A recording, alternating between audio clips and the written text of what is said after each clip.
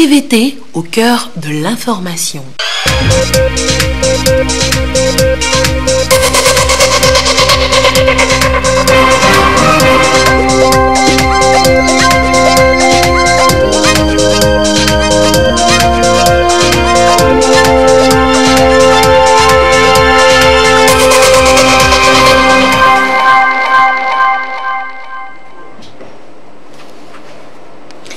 Il est l'heure du journal sur la télévision togolaise. Madame, Monsieur, bonsoir et voici les titres de cette édition. Peu à peu, le dispositif se met en place pour la bonne tenue des prochaines législatives au Togo. Ce lundi, la Cour constitutionnelle a convié plusieurs acteurs de la vie politique à une formation sur la gestion du contentieux électoral. Et de son côté, la CENI a désormais le positionnement des candidats sur les bulletins de vote.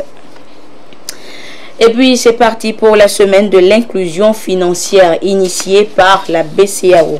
L'institution ouest-africaine veut faire de l'inclusion financière un levier du développement économique dans les huit États membres de l'UMOA à découvrir dans cette édition. Voilà pour les titres. Le président de l'Assemblée nationale d'Amatramani a reçu en audience ce matin une délégation chinoise spécialisée dans la construction. Le directeur de la société appelée CTCE a échangé avec le chef du Parlement sur le partage de leur expertise avec le Togo en matière de construction d'un parc industriel et de, formation de la main-d'œuvre locale. Nous, écoutons le directeur général de la société chinoise au sorti de l'audience au micro de Sonia Ameniko. Nous discutons avec Monsieur le Président de l'Assemblée nationale sur les projets de parc SAC et l'autoroute et le parc industriel et aussi la, la, la, formation pour les main-d'œuvre locales. Notre objectif de cette fois-ci à Monsieur le Président de l'Assemblée nationale, nous voulons faire des investissements dans le domaine de l'infrastructure nous discutons en Chine. Euh, L'Assemblée nationale a le, département le plus, euh, avec le plus grande euh, souveraineté. il, fait le, il travaille au nom de, la population, faire des inspections de, budget de l'État. Monsieur le Président, il dit que notre société a une société très expérimentée dans le domaine de la construction. Donc, il souhaite que nous pouvons partager notre expérience accumulée dans le domaine de la construction et depuis il souhaite que nous pouvons faire des contributions au développement de Togo.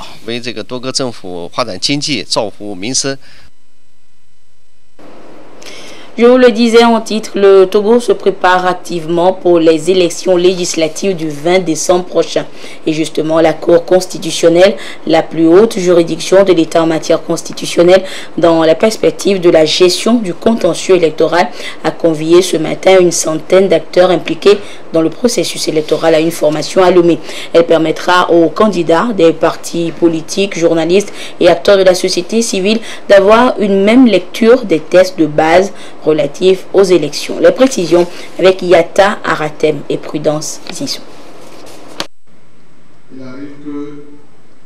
La Cour constitutionnelle du Togo, la plus haute juridiction de l'État en matière constitutionnelle, se prépare à mieux gérer les contentieux électoraux qui pourraient découler des législatives du 20 décembre prochain. Après la relecture des tests de base relatifs à ces élections, notamment le code électoral et la constitution, l'institution entend harmoniser le contenu de ces documents avec les acteurs impliqués dans le processus électoral. Représentants des partis politiques, journalistes vont donc échanger sur les enjeux de ces élections et les mécanismes de saisine de la Cour constitutionnelle en cas de contentieux électoral. La Cour gère trois types de contentieux. Nous avons le contentieux normatif, Ensuite, il y a le contentieux de la régulation des institutions et il y a le contentieux électoral. Et le contentieux électoral, c'est le contentieux qui attire beaucoup plus euh, la lumière sur la Cour parce que les décisions qui sont rendues ne sont pas toujours acceptées par euh, les requérants.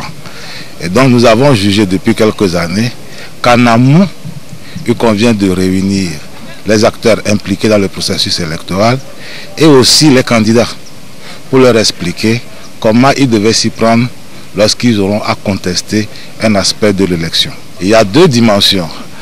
La, première dimension, c'est la saisine par euh, le candidat, mais la deuxième dimension, c'est le fait que les candidats balancent l'affaire dans la presse avant de saisir la Cour. Et des fois, certains journaux ont tendance à rendre la décision avant la décision de la Cour, sans connaître les tenants et les aboutissants de cette analyse-là. Donc il convient que les journalistes aussi participent à notre séminaire. Plusieurs communications sont au programme. Elles vont de la présentation de la Cour constitutionnelle en passant par le contentieux des législatives et l'apport des délégués de la Cour dans ce processus, ainsi que l'expérience des institutions impliquées dans le processus électoral. La rencontre de ce jour avec vous, acteurs impliqués dans le processus électoral, va nous permettre de vous faire la restitution de ce qui avait été fait et dit lors de notre rencontre 7 et 8 novembre 2018 sur ces tests de base pour avoir la même lecture que nous, ce qui nous permettra de nous armer pour gérer ensemble les élections législatives prochaines avec sérénité.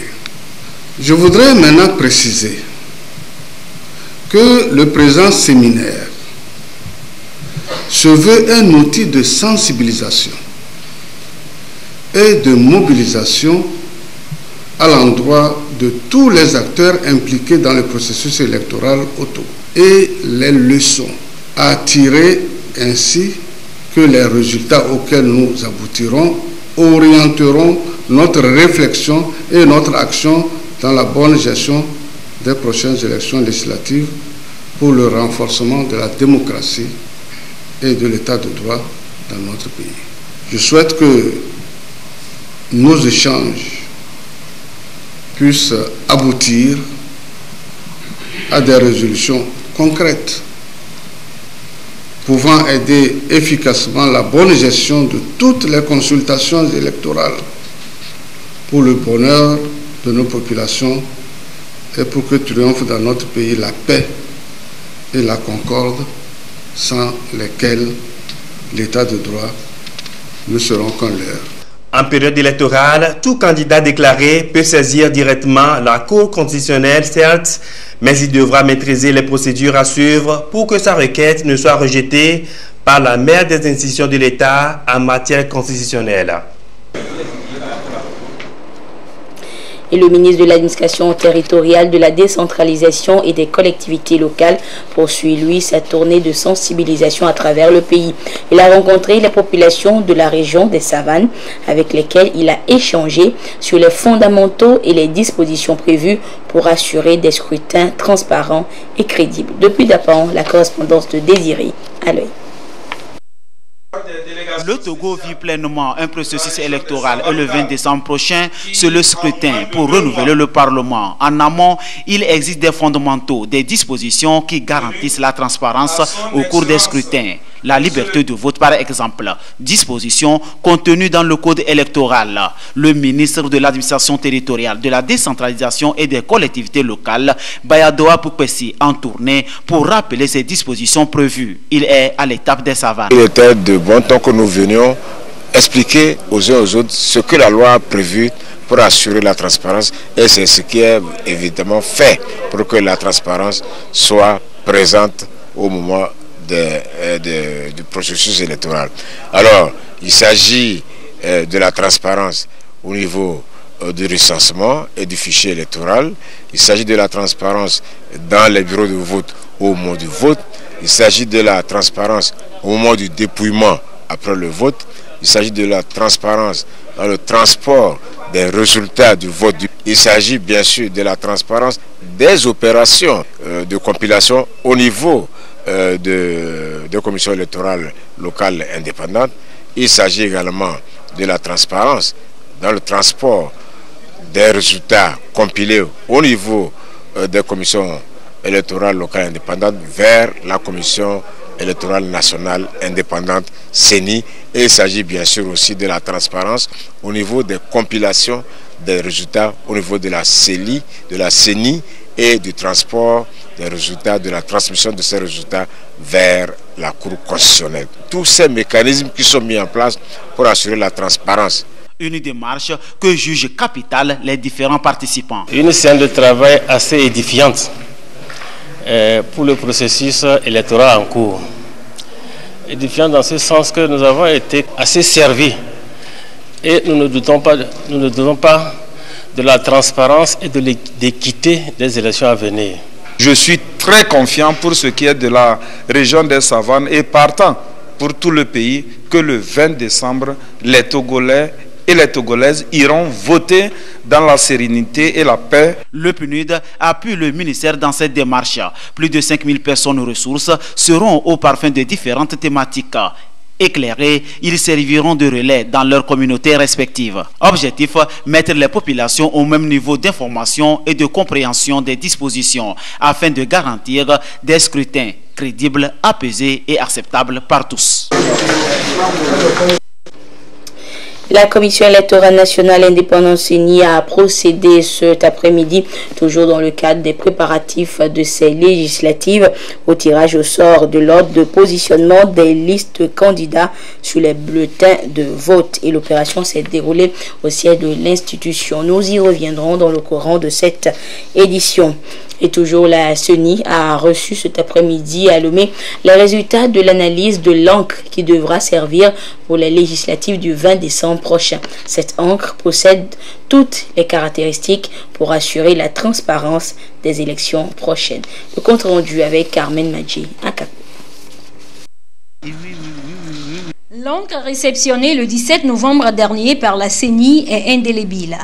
C'est ce que révèlent les résultats des analyses du laboratoire d'expertise de chimie et des eaux de l'Université de Lomé. Selon le directeur du dit laboratoire, la CENI a choisi la meilleure encre. Elle contient 25% de taux de nitrate d'argent. Si nous regardons dans la littérature ce qui est dit pour les encres qui sont utilisées euh, pour faire les élections, vous allez constater avec moi, si vous allez dans la littérature, que pour ces encres-là, le taux de nitrate va de 5 à 25% Donc ça veut dire que l'encre que la CENI a choisie, c'est le meilleur encre possible que la CENI a choisi pour donc, les élections. On a fait un prélèvement de 20 échantillons. Pour faire un meilleur prélèvement, nous, avons, nous sommes restés dans la fourchette des 10%, parce que lorsque vous voulez échantillonner, euh, euh, vous devez rester au moins dans les marges de 10%, au moins. Nous sommes même allés au-delà des 10%, parce que nous avons échantillonné 20, 20, cartons qui dépassent largement donc les 10%. Cette encre indélébile permettra de matérialiser le vote d'un électeur et d'attester de sa participation. Le président de la CENI, Commission électorale nationale indépendante, se dit rassuré car selon lui, avec cette encre, les élections législatives de 2018 promettent d'être crédibles et transparentes. Vous nous avez confirmé effectivement que l'encre qui a été choisie était d'une meilleure qualité possible. Ce qui nous rassure et nous fait dire que c'est un élément de plus pour le scrutin du 20 décembre 2018 que nous voulons transparente que nous voulons sans conteste. Tout se précise. Le Togo s'achemine vers un scrutin libre et crédible avec cette encre de grande qualité livrée il y a 10 jours en 126 cartons de 320 flacons. Et par voie de communiquer, le président de la Commission électorale nationale indépendante, CENI, tient à rappeler à l'aimable attention des chefs de partis politiques et des candidats indépendants que les candidats en tête de liste et leurs représentants doivent impérativement se présenter demain mardi 27 novembre 2018 au siège de l'institution à 7 heures. Vu l'importance de cette rencontre, le président de la CENI tient à remercier les candidats ou leurs représentants pour leur présence effective. Les professionnels des médias, journalistes et animateurs bénéficient depuis ce matin à, Tapamé d'une formation de perfectionnement à l'animation des émissions interactives. C'est une formation initiée par la haute autorité de l'audiovisuel et de la communication AC dans le contexte des élections législatives à venir destinées à amener ces journalistes au professionnalisme dans la couverture médiatique des élections et à améliorer la qualité de leurs émissions en vue d'éviter tout dérapage. Le point avec Silver Abdou depuis Atakpami. Les émissions interactives sont des moyens qui permettent aux auditeurs de s'exprimer en direct à l'antenne, mais aussi sont des exercices radiophoniques les plus risqués en termes de dérapage. Et au moment où le Togo s'apprête pour les échéances électorales, la haute autorité de l'audiovisuel et de la communication RAC s'active pour appeler les professionnels des médias à dynamiser leurs techniques d'animation devant améliorer la qualité des émissions et à limiter les dérives. Ici à Tapamé, ces professionnels vont découvrir à travers cette formation de perfectionnement les règles d'or en vue de les amener à veiller au respect de l'éthique et de la déontologie de la profession. Généralement, ce sont des émissions qui causent des problèmes où certains journalistes se donnent le plaisir de violer les tests en rigueur, sachant que ces élections sont sensibles, délicates, nous en appelons à la conscience des professionnels des médias, des journalistes, surtout des animateurs de ces émissions interactives.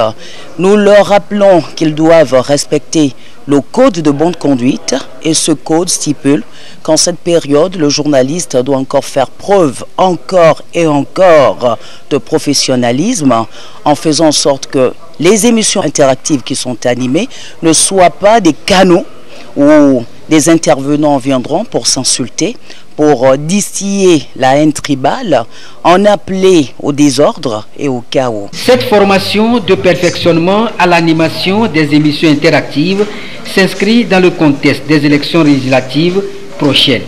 Ceci dans la perspective d'engager les journalistes a fait également preuve de dynamisme dans la couverture médiatique de cette élection qui se veut transparente et apaisée. La présente rencontre vise à mieux outiller les journalistes et animateurs des radios et télévisions installés sur l'ensemble du territoire national en technique d'animation des émissions d'expression directe dans la perspective de la couverture des élections législatives du 20 décembre que nous voulons apaiser. En s'investissant pour le renforcement des capacités des acteurs qui animent quotidiennement les émissions interactives sur les antennes des radios, de nos radios et de télévisions, pour une position de qualité, la HAC voudrait, une fois encore, affirmer son engagement à faire de la promotion de la liberté de la presse son cheval de bataille. Cette session qui consiste à fournir les outils nécessaires aux professionnels des médias va également leur permettre de confronter leurs expériences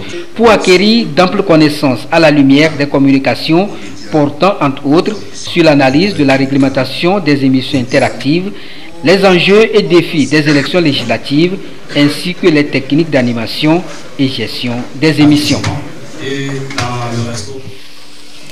Il a qu'invite les responsables des partis politiques, des regroupements de partis politiques et les candidats indépendants ayant fait acte de candidature pour les élections législatives du scrutin du 20 décembre prochain à lui communiquer avec empilation ampliation au ministère chargé de la communication conformément à l'article 9 de l'arrêté fixant les conditions de production, de programmation, de diffusion des émissions et de publication des informations relatives à la campagne électorale sur les médias officiels pour les élections législatives dès la publication des listes par la Cour constitutionnelle, le ou les noms de leurs représentants habilités à effectuer en leur nom les différentes formalités. La HAC compte sur la collaboration des différentes euh, formations politiques et candidats indépendants pour une régulation des médias en cette période de campagne électorale. Et dans un autre communiqué, le président de la Haute Autorité de l'Audiovisuel et de la Communication invite les responsables des partis politiques ou leurs représentants dûment mandatés ainsi que les têtes de liste des candidats indépendants dont les listes ont été validées par la Cour constitutionnelle pour les élections législatives du 20 décembre prochain à assister à la cérémonie de tirage au sort de l'ordre de passage de leurs messages et déclarations sur les médias officiels qui aura lieu le mercredi 28 novembre 2018 à 9h à l'hôtel La Concorde situé à la fin des pavés d'Adido Adin à. La presse publique et privée est également invitée à assurer la couverture de cette euh, cérémonie.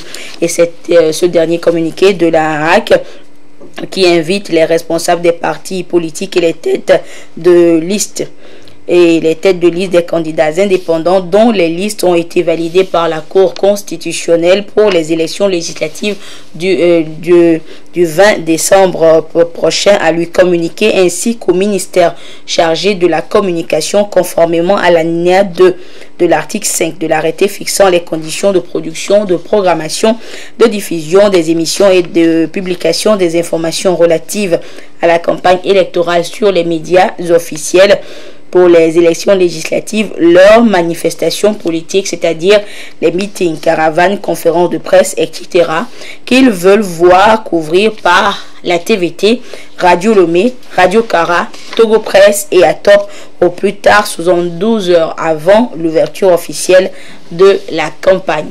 La RAC compte sur la collaboration des différentes formations politiques et candidats indépendants pour une régulation des médias en cette période de campagne électorale et toujours dans le cadre donc de ces des préparatifs de, de, ces, de ce scrutin, la je vous le disais donc la commission électorale nationale indépendante CENI a procédé cet après-midi au tirage au sort de l'ordre de positionnement des listes de candidats sur les bulletins de vote. L'opération s'est déroulée au siège de l'institution à Lomé et c'était en présence des représentants des partis politiques, regroupements de partis politiques et des candidats indépendants. Le compte rendu de cette cérémonie avec Chaz. D'accord, nous reviendrons donc euh, justement, nous reviendrons sur cette opération donc sous-tirage de l'ordre de positionnement des candidats sur les bulletins de vote dans le courant de cette édition, le temps que nos reporters soient prêts. Les acteurs de l'économie informelle avec la Caisse nationale de sécurité sociale et le Bureau international du travail engagés à doter le Togo d'une stratégie nationale de formalisation de l'économie informelle et ce à travers l'extension de la sécurité de la sécurité sociale à tous. Les réflexions se poursuivent pour que la recommandation 204 du BIT sur la formalisation de cette économie justement soit effective dans notre pays. Le compte rendu avec Kwasi et Edem ce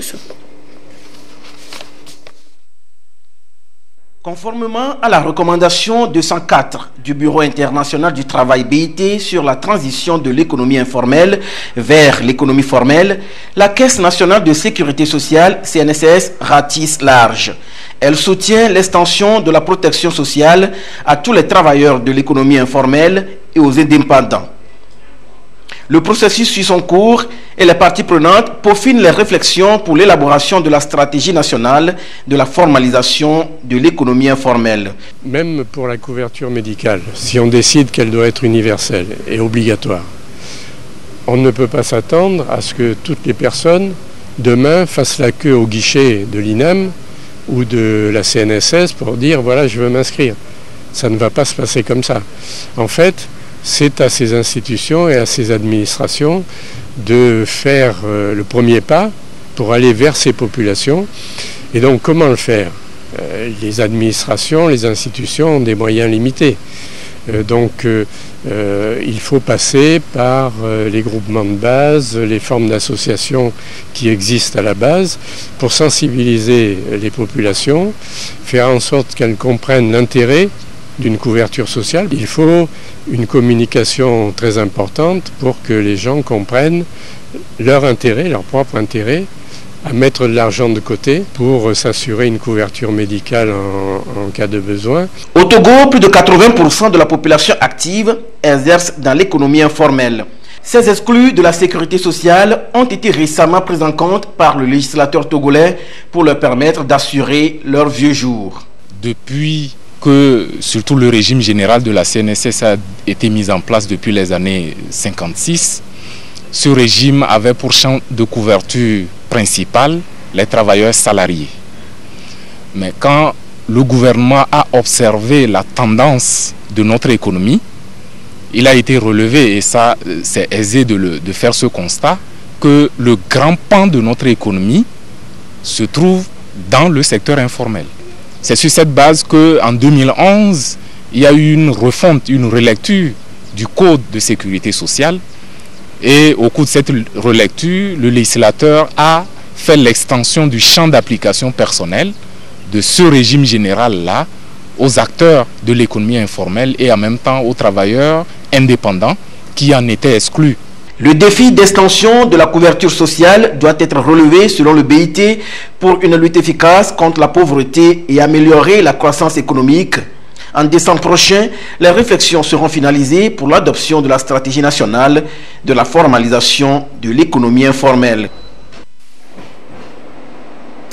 Et on vient maintenant à ce tirage au sort de l'ordre de positionnement des listes des candidats sur les bulletins de vote procédé donc cet après-midi à la, Commission électorale nationale indépendante CENI. Et c'était en présence donc des représentants des partis politiques, regroupements de partis politiques et des candidats indépendants. Le compte rendu de la cérémonie avec Chaz Nampaga. Ce tirage au sort a porté sur 136 listes de candidats validées par la Cour constitutionnelle. Il vise à déterminer l'ordre de positionnement de ces différentes listes sur les bulletins de vote suivant les 30 circonscriptions électorales que compose le Togo. L'opération s'est déroulée en présence des représentants des partis politiques, regroupements des partis politiques et candidats indépendants pour réaffirmer le caractère inclusif, participatif et transparent du processus électoral en cours nous avons suivi avec intérêt, puisque c'est un tirage au sort, ça s'est bien passé dans les règles de l'art, en présence d'un huissier, comme euh, le réclame le code électoral. Euh, le tirage a été à la satisfaction de tout le monde. Ça s'est bien passé dans de bonnes conditions de transparence et d'équité. En présence de l'huissier, combien a été fait? Euh, Le tirage au sort s'est bien passé. Tout s'est passé, tout passé dans la, dans la transparence et chacun a vu sa position. Nous sommes euh, confiants pour la suite de l'aventure. Cette opération de tirage au sort répond à l'article 78 du Code électoral qui stipule que le bulletin unique de vote est imprimé selon les modalités et des spécifications techniques définies par la Commission électorale nationale indépendante CENI. Pour le président de cette institution en charge de l'organisation des élections, la réussite de cette opération marque une étape vers le scrutin législatif du 20 décembre. C'est un pas très important que nous allons franchir pas qui va nous mener vers le reste des tâches que nous avons accomplies au niveau de la CENI et aboutir enfin au scrutin du 20 décembre 2018. Ceci va nous permettre de disposer des bulletins de vote,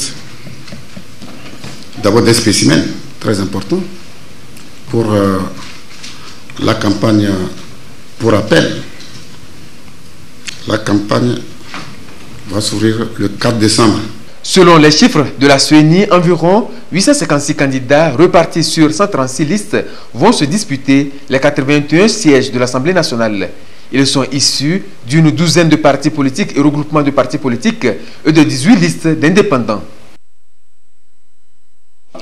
Lancement ce lundi de la semaine de l'inclusion financière.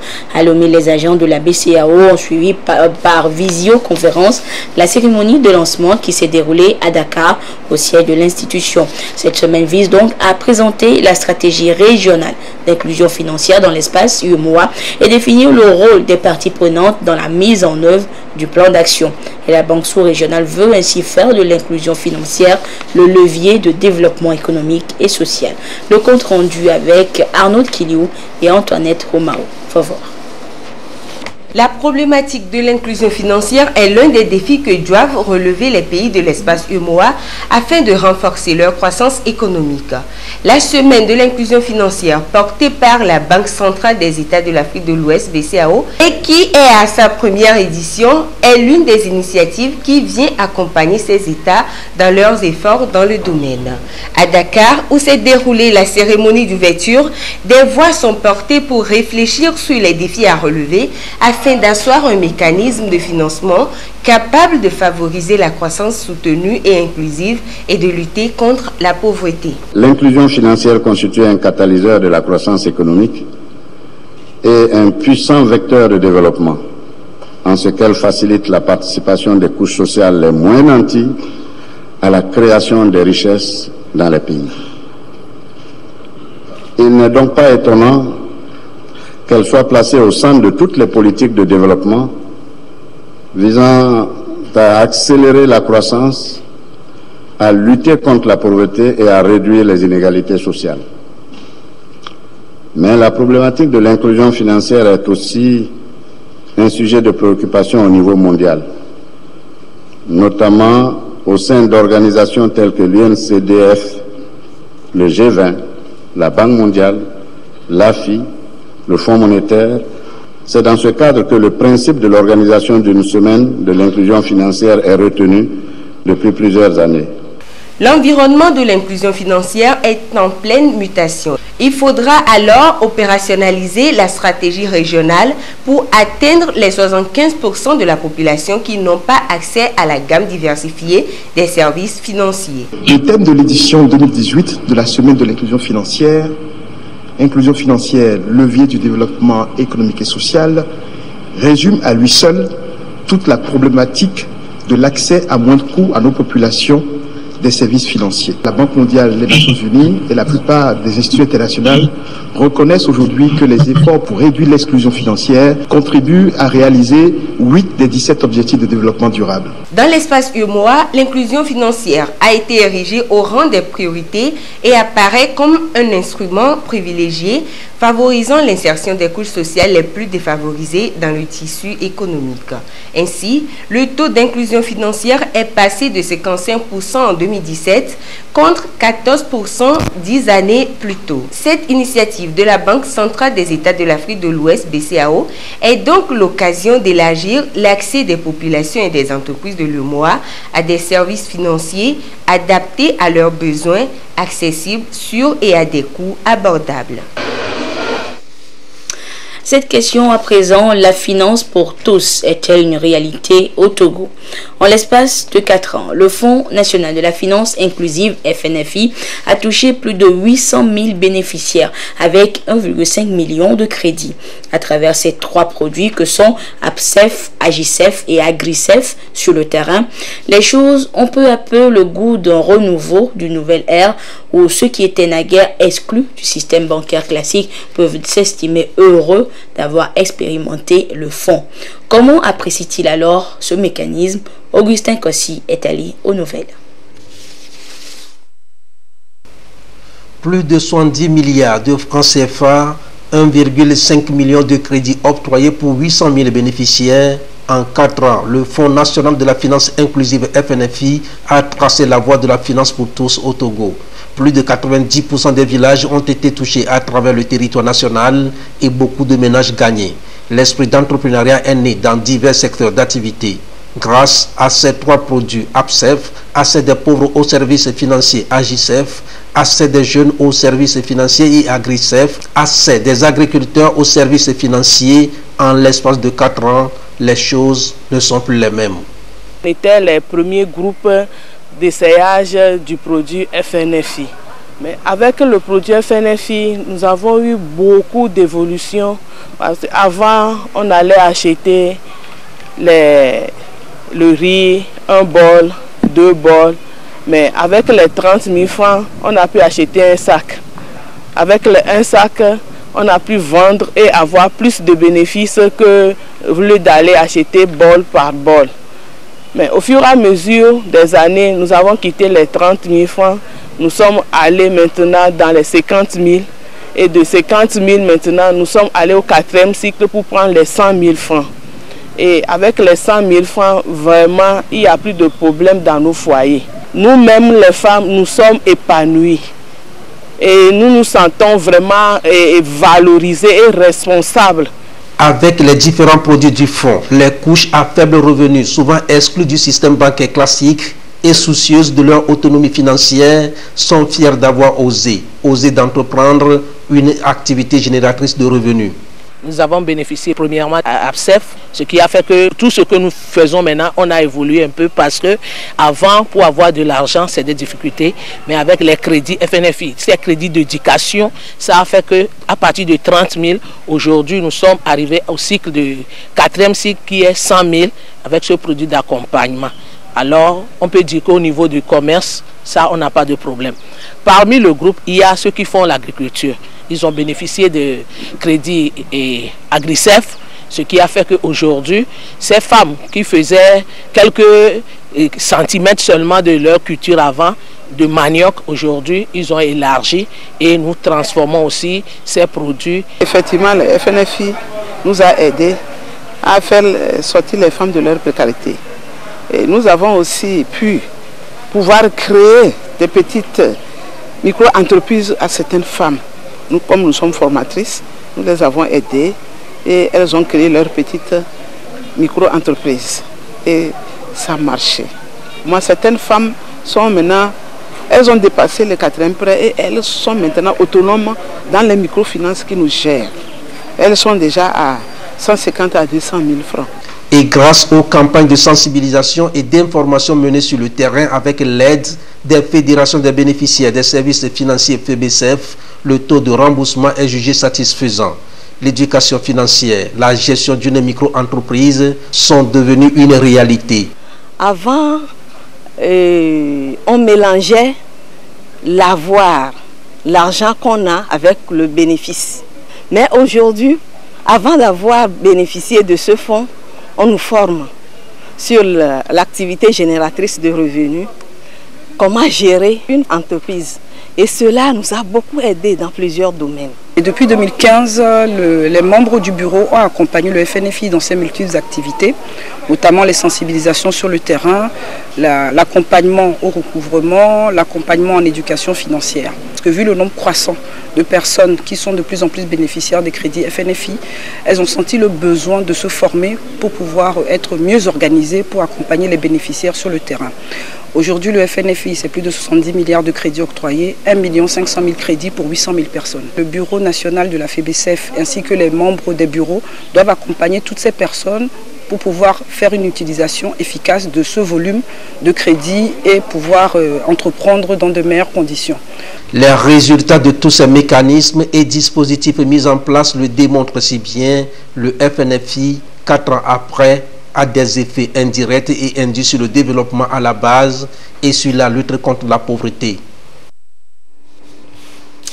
Direction Sopodé maintenant où l'opération administration rapide de proximité se poursuit et c'est à inscrire dans la dynamique des réformes de l'administration et le ministère en charge de la sécurité joue ainsi sa partition. Des cartes nationales d'identité ont été établies et distribuées aux populations qui n'en disposaient pas. Le compte rendu depuis Sopodé de la marque Bojona. Journée administration rapide de proximité organisée par le ministère de la Sécurité et de la Protection civile dans la préfecture de Chaoudjo sont en possession de leur carte nationale d'identité. Pour la préfecture de Chaoudjo, 234 cartes nationales d'identité ont été délivrées. Je suis vraiment très très très content. Je ne sais même pas quel mot employer. Bon, je suis content et je remercie vraiment le gouvernement d'avoir cette initiative de faire vraiment avancer le pays avec ces cartes-là. J'ai cherché la carte avec, pour faire beaucoup de choses, mais depuis là, non. Mais voilà que c'est arrivé. Je remercie le, chef de l'État d'avoir cette initiative de nous aider à temps à recevoir ces cartes-là. À Chotebois, à Blita et à Pagalagar, les équipes du ministère de la Sécurité et de la Protection civile déployées dans ces localités sont à pied d'œuvre afin de délivrer dans un bref délai les cartes nationales d'identité aux citoyens les échos de la 15e foire internationale de Lomé à présent en ce quatrième jour de cette grande messe commerciale. Les jeunes entrepreneurs étaient à l'honneur. Ils ont été édifiés sur les opportunités que leur offre le numérique pour la promotion de leurs activités et comment ils doivent maintenir le cap pour progresser dans leur néo-entreprise. Et c'était euh, au cours du Togo Startup Academy qui se tient sur le site de la dite foire. Le compte rendu avec Luc Assis. L'entrepreneuriat a une solution crédible aujourd'hui pour relever le défi de l'emploi. Il absorbe nombre de jeunes porteurs d'initiatives novatrices susceptibles d'apporter un plus à la société et permettre aux détenteurs de projets de vivre des fruits de leur travail. Face aux opportunités d'affaires qu'offre le numérique, qui révolutionne d'ailleurs tous les secteurs d'activité, les jeunes entrepreneurs doivent se positionner pour en tirer profit. C'est l'exemple des réseaux sociaux qui peuvent les aider à affirmer leur présence et promouvoir surtout leurs produits et services. Internet et les nouvelles technologies permettent aux jeunes entrepreneurs de pouvoir communiquer facilement sur leurs produits et les services à moindre coût. C'est là un, des gros avantages en fait euh, des technologies numériques. Chaque Togolais pratiquement, ou bien la majorité des Togolais sont équipés d'un smartphone ou bien d'un téléphone portable. Donc on peut communiquer facilement à travers ces supports-là. Et par contre, il est important de préciser que il faut avoir un bon produit. Il faut travailler sur son produit et son service. Et il faut avoir une stratégie. Il faut être capable de mesurer le retour sur investissement de ce que l'on fait. Et l'autre fois, c'est que c'est quoi? C'est que vous pouvez cibler. Vous pouvez cibler directement en fait vos, clients ou bien vos prospects. Et cibler, ça donne euh, une certaine force parce que ça vous permet de canaliser vos énergies. Pour réussir l'entrepreneuriat, je pense que la première valeur, c'est d'aimer son métier et d'être compétent. Si vous n'êtes pas compétent, vos erreurs vous rattraperont toujours. L'échec n'est pas une erreur. Vous pouvez vous tromper, hein, mais cela ne vous empêche pas de vous relever et de recommencer. Mais si vous ne connaissez pas votre métier, vos défaillances vous rattraperont toujours. Aimez votre métier, aimez-le avec passion. Transmettez votre passion à l'équipe avec laquelle vous travaillez. Investissez dans l'humain, parce que entourez-vous de personnes capables et de personnes compétentes qui peuvent comprendre votre vision. Faites de la publicité, faites connaître votre entreprise, faites parler de vous autour de vous et après, fidélisez votre clientèle et ne relâchez jamais vos efforts.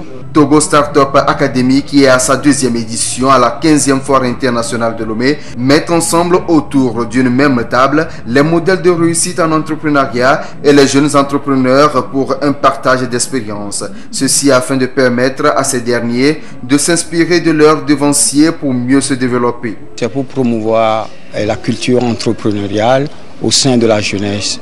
Un chef d'entreprise qui vient partager ses expériences, patron d'entreprise avec les jeunes.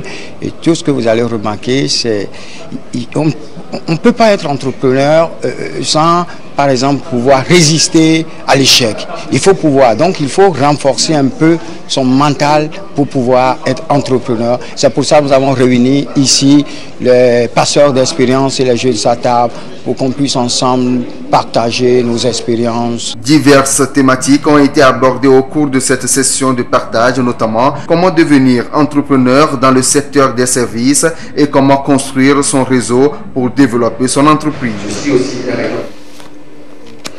Et voilà, ainsi se referme cette édition. Merci de votre fidélité à la télévision togolaise. Excellente suite de nos programmes. Au revoir.